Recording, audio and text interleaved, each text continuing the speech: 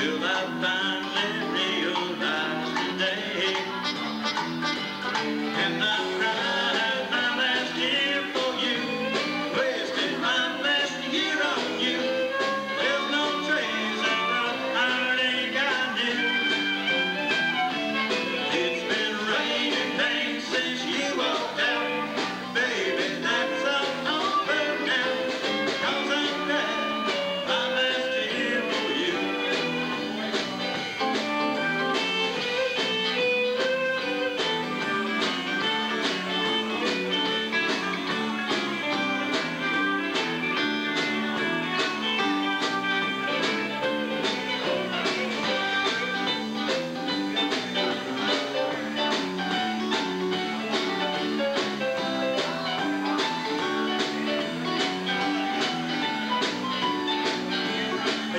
Lay you down in bed.